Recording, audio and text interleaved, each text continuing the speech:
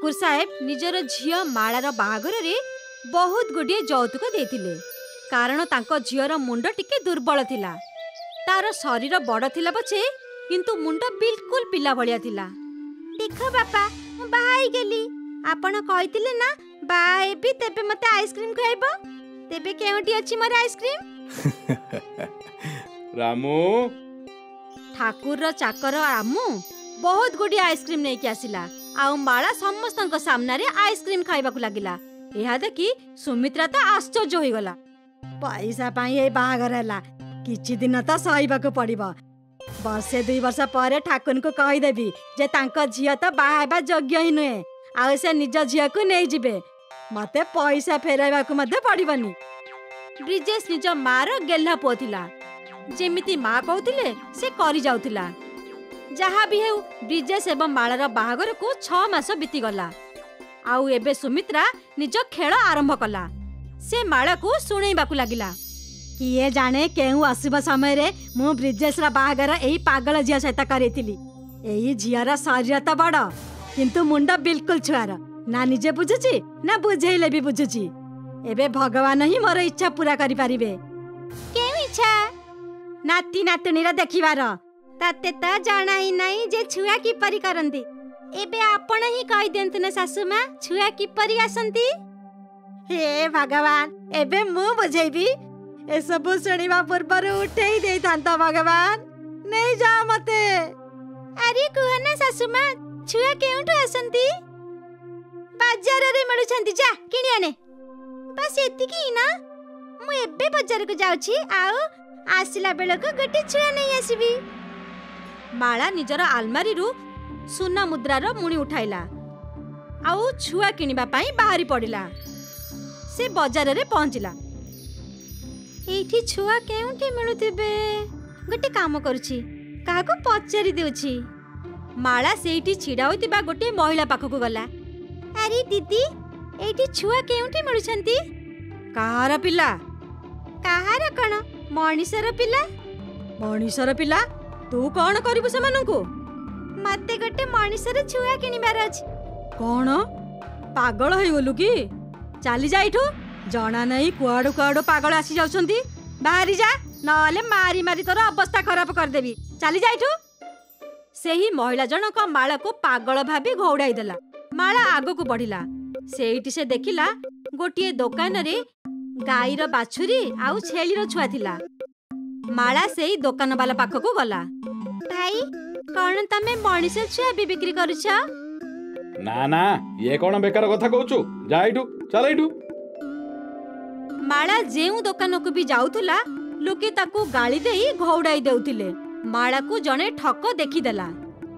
ଲାଗୁଛି ଏଇ ମହିଳାଟି ବିଲକୁଲ ପାଗଳ କିନ୍ତୁ ୟାର ଶରୀରରେ ଏତେ ଗୁଡ଼ିଏ ସୁନା ଅଛି ନିଶ୍ଚୟ ପଇସାବାଲା ଘରର ହେଇଥିବ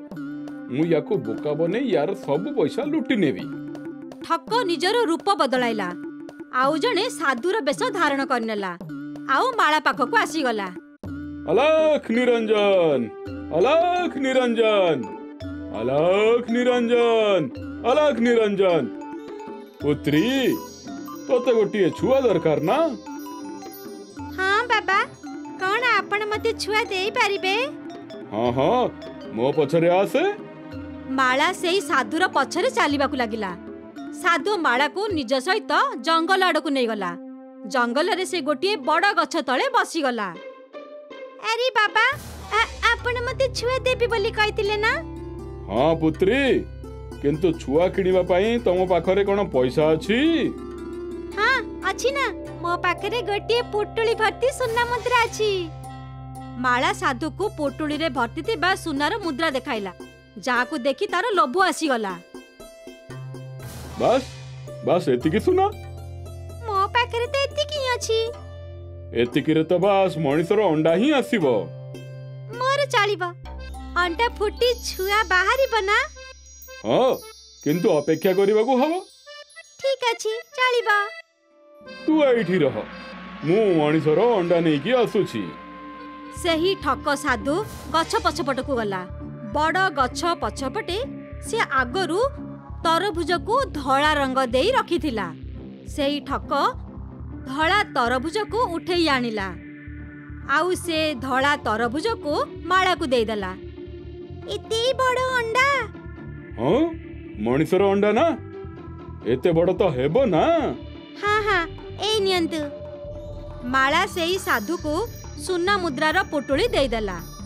ଆଉ ଅଣ୍ଡା ନେଇ ଘରକୁ ଯିବାକୁ ବାହାରି ପଡିଲା ସମ୍ଭାଳି କରି ଯିବୁ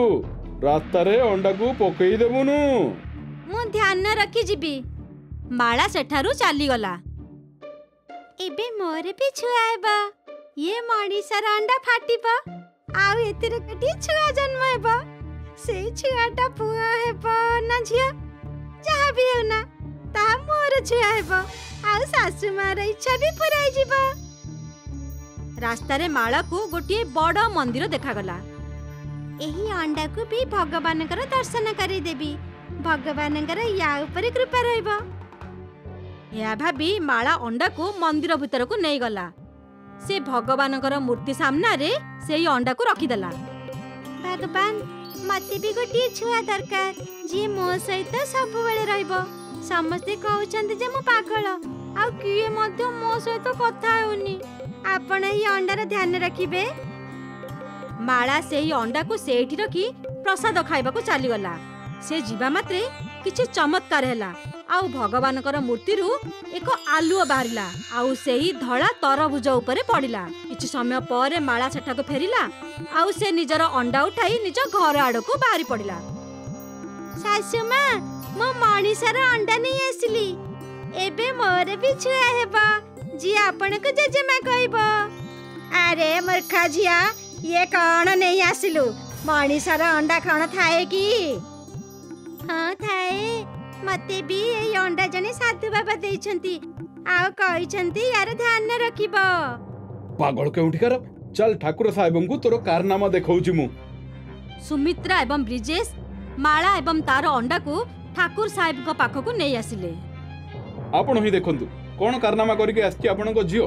ଛୁଆ ପାଇଁ ଇଏ କହୁଥିଲା ଏବେ ଇଏ ମଣିଷର ଅଣ୍ଡା ନେଇକି ଆସିଛି କହୁଛି ୟା ଭିତରୁ ଛୁଆ ବାହାରିବ ଠାକୁର ସାହେବ ଲଜ୍ଜିତ ଥିଲେ ଝିଅ ଏହା ସବୁ କ'ଣ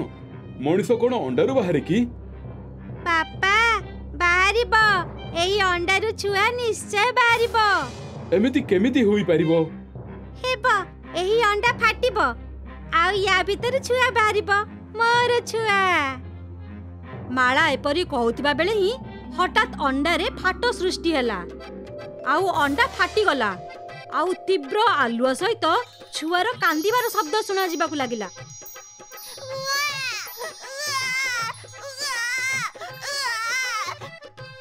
ସମସ୍ତେ ଆଶ୍ଚର୍ଯ୍ୟଚକିତ ହୋଇଗଲେ